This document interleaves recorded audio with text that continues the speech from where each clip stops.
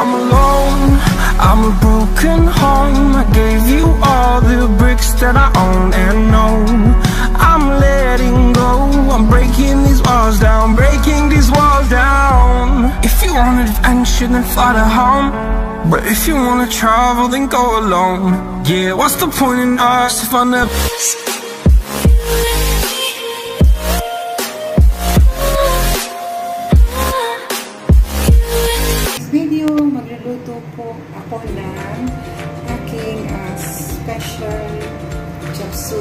So, ito po yung mga ingredients. Meron na tayong naka-pre-cook uh, shrimps. And nalinis ko na din yan. Lagi nyo po, yung paglilinis po ng ano, shrimp, yung sinasabi ko, kailangan nyo lang iwain yung dito, yung sa may likodan. Ano, nandyan yung dumi niya, yung bituka yung tinatanggal mo yung parang balbas niya. And yung dito. So, meron tayong ito guys, meron tayong bro broccoli. And uh, meron tayong cabbage. Ayan. Ayan, meron tayong uh, cauliflower. And uh, this is baby corn. Ayan. Carrots. Ito naman, meron tayong carrots. Meron tayong chopped minced tayong onion, garlic, and then meron tayong tatlong klase ng capsicum or bell pepper. May yellow, green, and red. So, para maging makulay ang ating chop suey. So, ayan.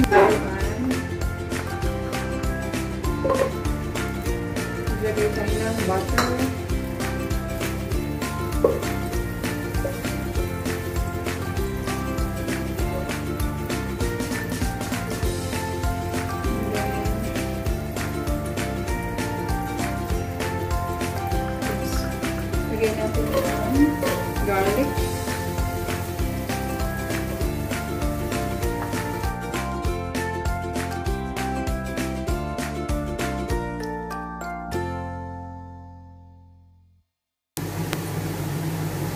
Then, pwede na natin,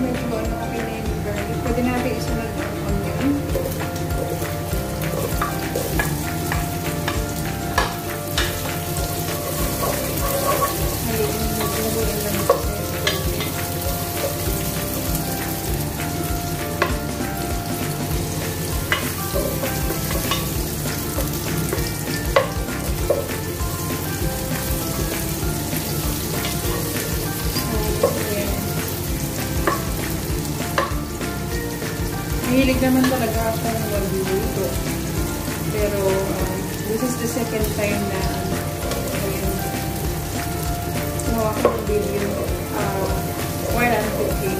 So, medyo iba pala yun.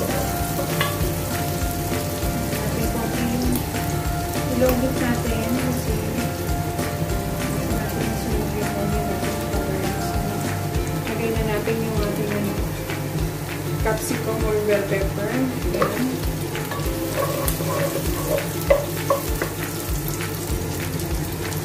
So, itong uh, ano, guys, bell pepper, optional lang naman itong uh, nilagay ko na uh, three color. Mas, pwede naman ano, pwede isa lang. Like, pwede nyo lagyan ng red. Depende sa inyo. Or sa budget natin, sa pagluto ng dish na to. Kung iba naman, wala na ang bell pepper. Minsan, overload ng ang ko. Um, minsan, maraming um, halo. Like, nilalagyan ko ng ibang seafood. Squid, pwede. Uh, yung fresh squid or squid balls.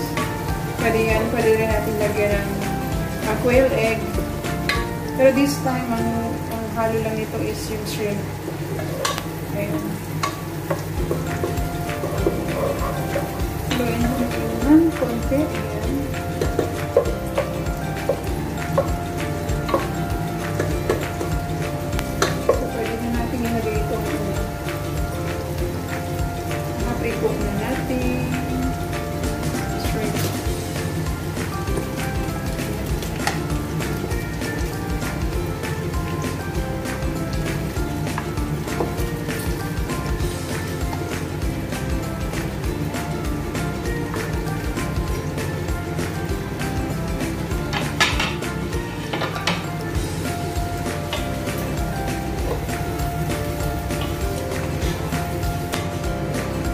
Siyempre, pinaka-the best naman talaga sikreto sa pagluluto yung siyempre yung uh, tinatawag nila in other term na sampo siya o ginigisa mo muna siya.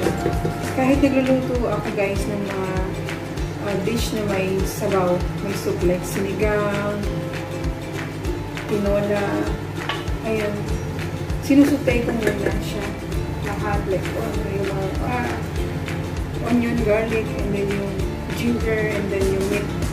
So, para, alam mo yun, ma-absorb ng meat, walang uh, seafoods natin, uh, tawag dito,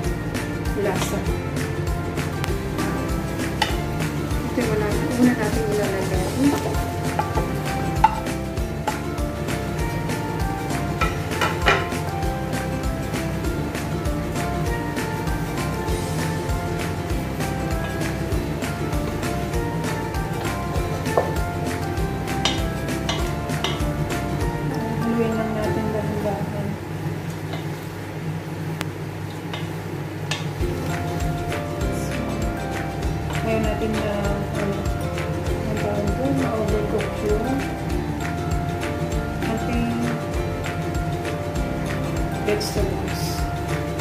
Takpan natin siyang saglit. Saglit na saglit lang. Siguro mga 2 minutes. So yan, na natin.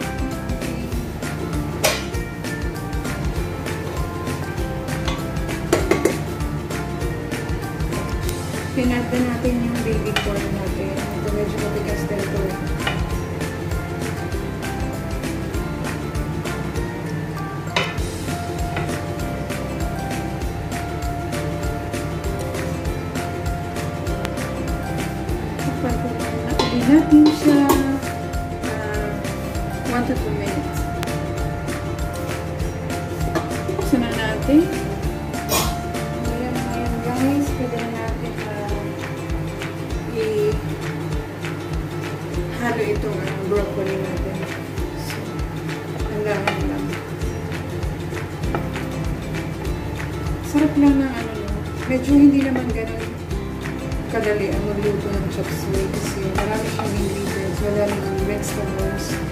Pero gusto gusto ko nagluluto na to kasi and syempre paborito din ng um, pamilya ko yan, husband ko ng aning na ang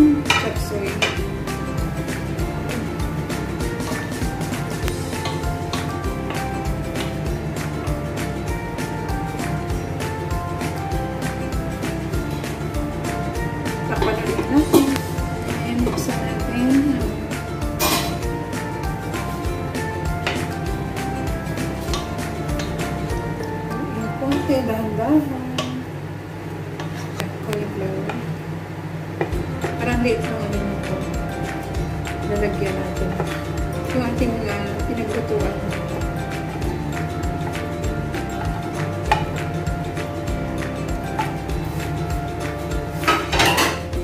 ilalas natin yung uh, cabbage kasi ang cabbage guys, ano siya, yung madali siyang maluto.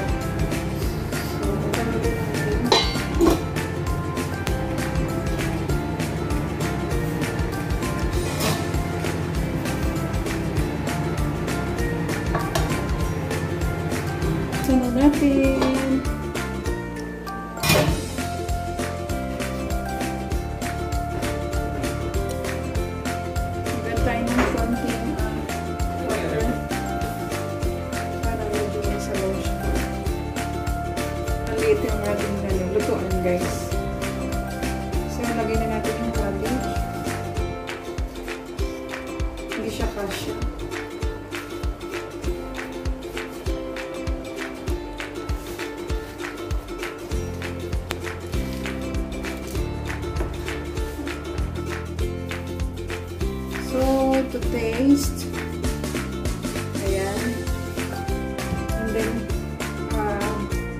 Black pepper powder. Ayan. Bahala kayo. Ako nagtatansya na ako. Walang mga tablespoon, tablespoon dyan. Kaya nagluluto ako. So, bahala din kayo kung gaano kadami yung gusto nyo ilagay. natin na oyster sauce. yan